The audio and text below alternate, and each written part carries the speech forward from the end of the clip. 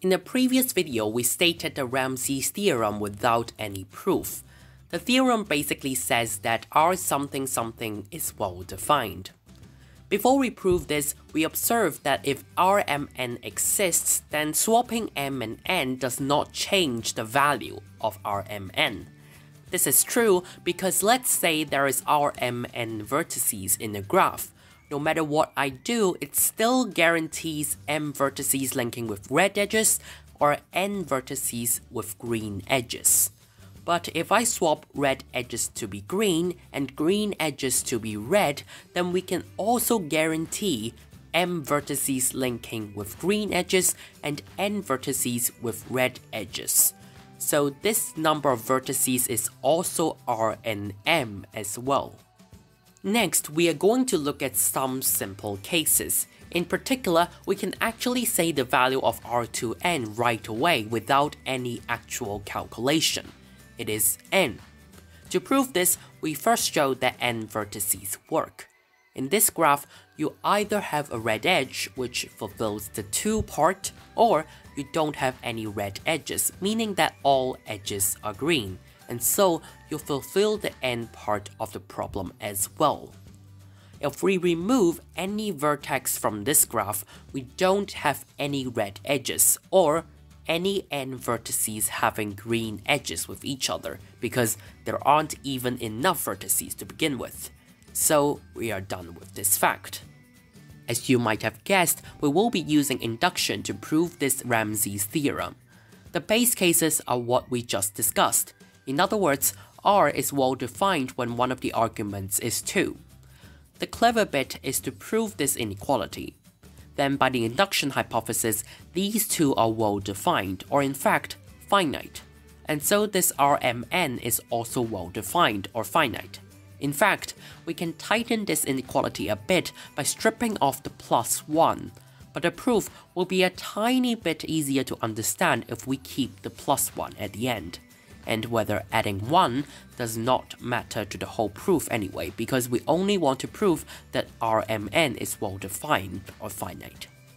So now, consider a graph with exactly this number of vertices. Then we consider one particular vertex and all the connected edges.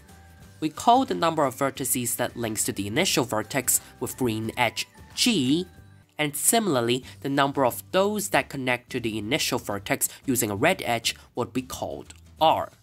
Then based on this number of vertices we begin with, we have R plus G equal to the total number of vertices minus 1, which is the sum of these R something.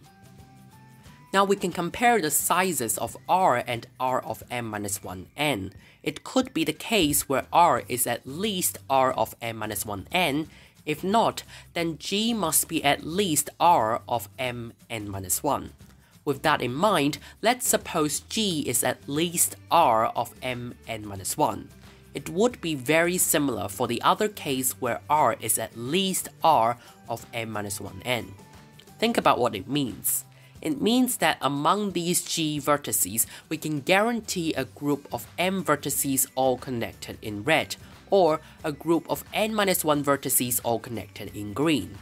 Then adding the initial vertex, we can guarantee m red or n green now, because all the n-1 vertices together with this initial vertex would form a group of n vertices all connected in green.